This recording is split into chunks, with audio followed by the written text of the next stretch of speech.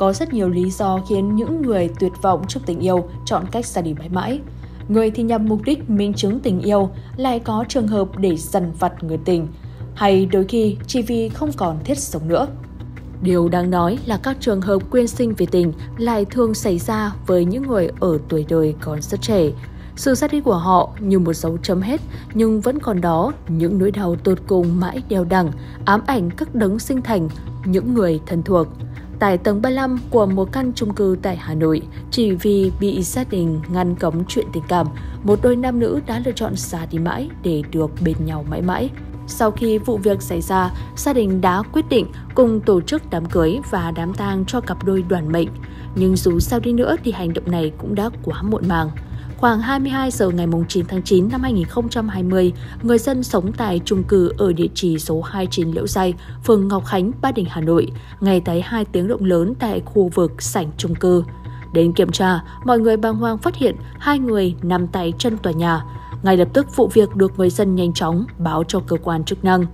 Sau khi nhận được thông tin về vụ việc, Công an phường Ngọc Khánh đã huy động lực lượng tới bảo vệ hiện trường, phối hợp với Công an quận Ba Đình và các đơn vị nghiệp vụ liên quan khám nghiệm hiện trường, đưa nạn nhân về bệnh viện.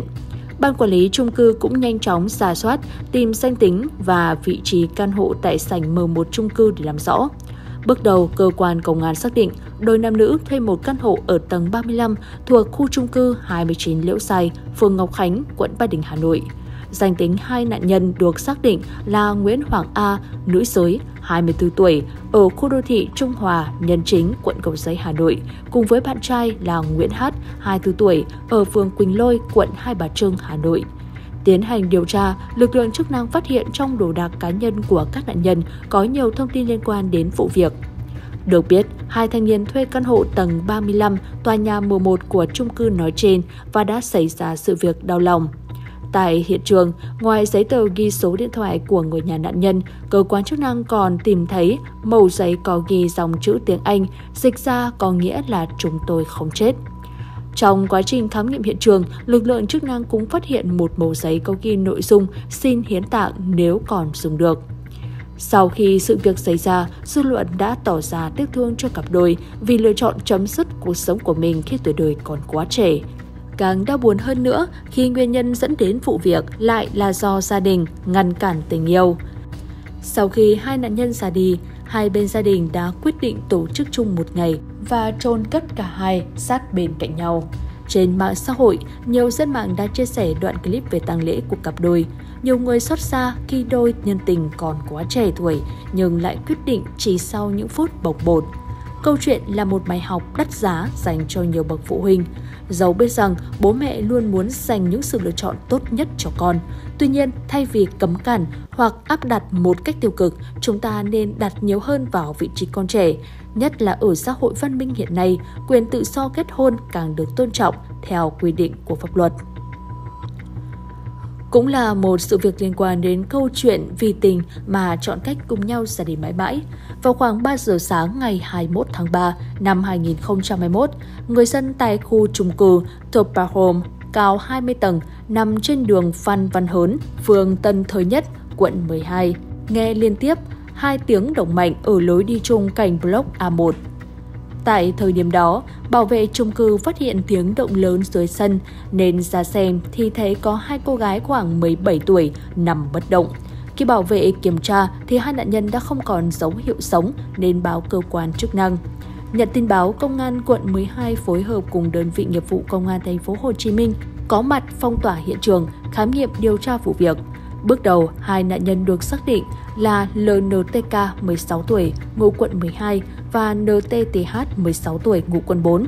Cả hai đang là học sinh của một trường trung học phổ thông trên địa bàn quận 3, thành phố Hồ Chí Minh. Qua kiểm tra tầng thượng tòa nhà A1, công an phát hiện hai ba lô và một ván chuột không có giấy tờ tùy thân và điện thoại.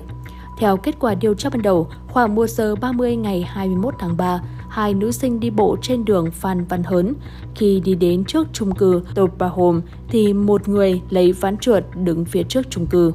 Một lúc sau, hai thiếu nữ đi bộ vào bãi xe của chung cư, đi qua hồ bơi rồi vào cầu thang bộ lên tầng 3 tòa nhà A1.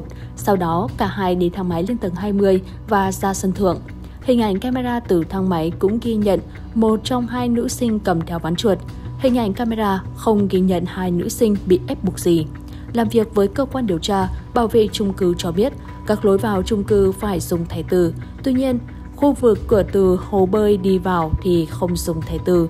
Vì vậy, hai nữ sinh đã đi theo lối này để đi lên sân thượng rồi xảy ra sự việc đau lòng nói trên. Sự việc đã thu hút nhiều sự chú ý của cư dân chung cư và người dân bên ngoài. Nhiều người dân đứng trước cổng nhìn vào chung cư bàn tán xôn xao vụ việc. Tuy nhiên, lực lượng chức năng cũng bảo vệ hiện trường nghiêm ngặt, không cho ai vượt qua bằng giới hạn. Một cư dân chia sẻ, chung cư chưa bao giờ xảy ra vụ việc như thế này. Liên quan đến vụ việc đau lòng xảy ra với hai cô gái, một người tài xế xe ôm công nghệ, nhân chứng có mặt ở hiện trường thời điểm xảy ra vụ việc cho hay, hai cháu đã cãi nhau rất to trên đường vào chung cư.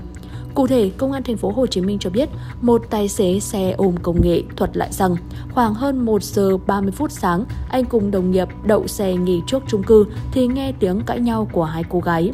Khi nhìn sang thì thấy hai cô nữ sinh đang đi vào phía trong tòa trung cư. Trong đó, cô bé tóc ngắn tay ôm ván trượt bà tìm, còn cô gái còn lại mặc chiếc áo khoác. Cả hai có xảy ra cái cọ. Tài xế xe ôm công nghệ kể lại, hai bạn đó vừa đi vừa cãi nhau lớn lắm. Một cô nói, mày đánh tao đi, mày đánh tao đi. Lúc này tôi hỏi lớn, có chuyện gì với em thì hai bạn đó không cãi nữa mà đi thẳng vào chung cư. Được khoảng một lúc thì nam tài xế này và đồng nghiệp biết tin về vụ việc. Họ chạy ra thì phát hiện hai nạn nhân có đặc điểm rất giống với hai cô bé đã cãi vã lúc nãy. Sau khi cơ quan công an và bảo vệ tòa nhà trích xuất camera và đưa hình ảnh cho nhóm tài xế thì không còn nghi ngờ gì nữa.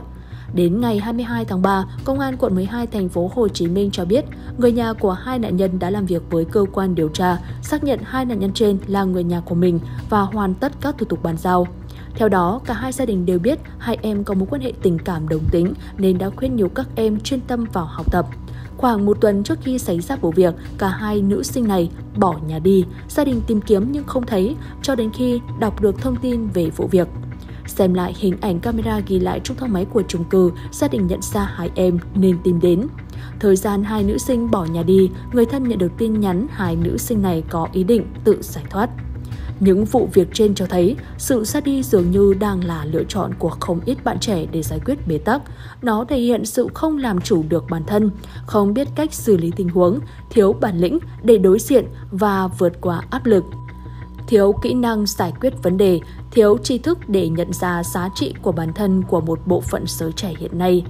Điều duy nhất mà những người chọn cách quyên sinh vì tình cho rằng họ cần phải làm là dùng hành động của mình để chứng minh tình yêu hoặc sự ra đi vĩnh viễn của họ sẽ khiến những người ngăn cản phải ân hận suốt đời.